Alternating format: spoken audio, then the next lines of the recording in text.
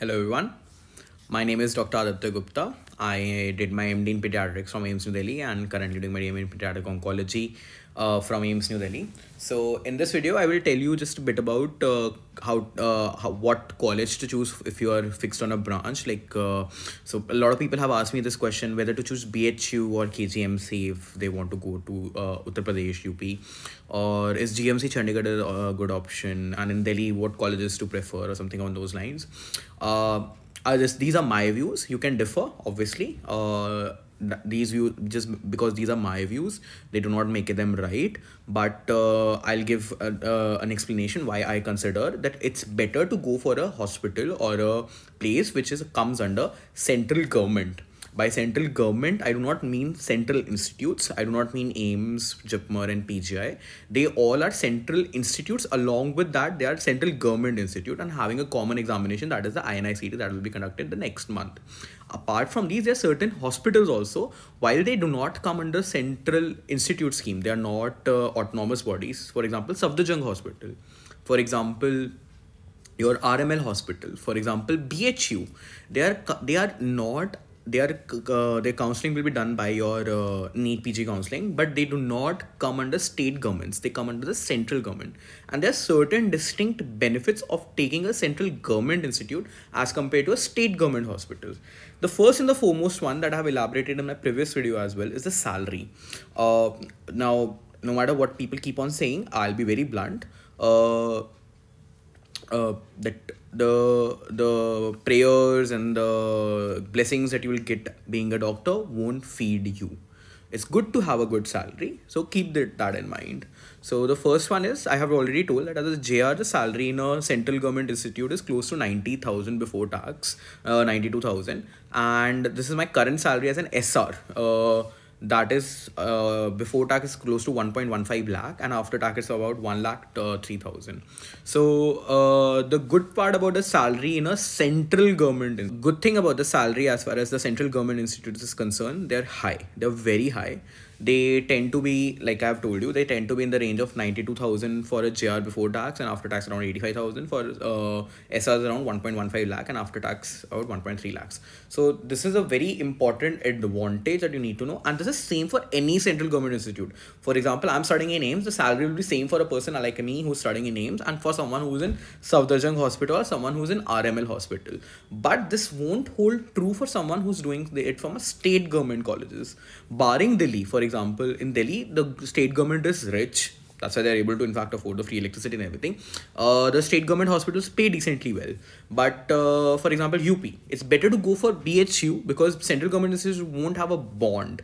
They won't have a bond. The salaries will be better rather than, let's say, going for KGMC.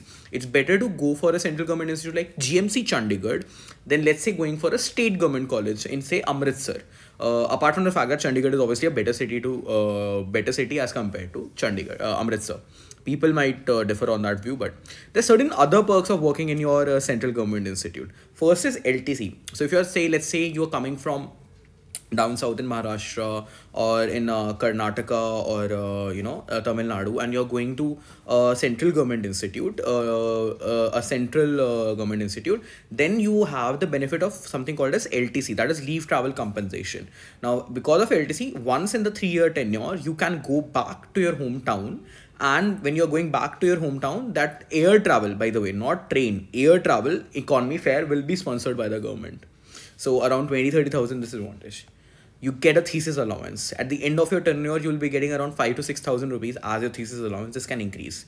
You get something called as book allowance. Although book allowance is marginal, it's like just two thousand over the period of three years, so that is six thousand. But still, for for example, for as a uh, uh, someone who was doing his MD in pediatrics, the biggest expenditure was buying that big Nelson, and that Nelson itself was around five thousand. So that will be given by my institute itself.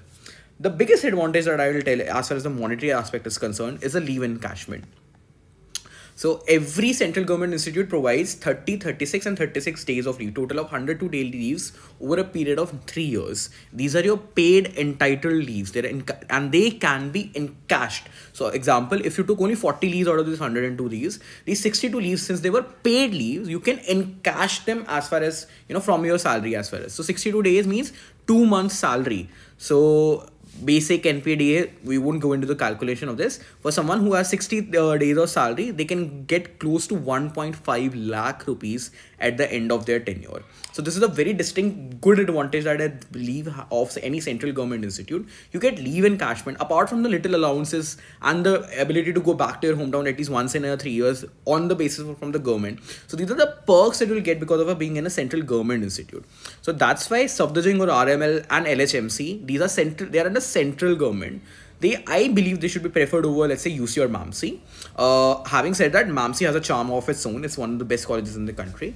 Similarly, BHU should be preferred over KGMC. And if you're getting seat in any peripheral AIIMS, be it AIIMS Jodhpur or other you know AIIMS Rishikesh, they should always be preferred over uh, state government colleges.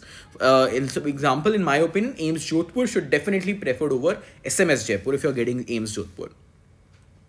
Again, other colleges which are there in the union territories, GMC Chandigarh, colleges that might be there in Andaman and Nicobar, colleges that might be there in Pondicherry, they all, because union territory colleges will come under the purview of the central government.